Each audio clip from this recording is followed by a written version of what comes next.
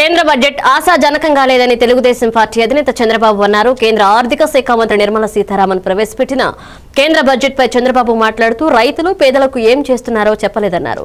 నదుల అనుసంధానంపై ప్రణాళికలు స్వాగతిస్తున్నామన్నారు. వేతన జీవులకు మొండి చేయి చూపారన్నారు. రాష్ట్ర ప్రయోజనాలు సాధించడంలో వైసీపీ విఫలమైందన్నారు.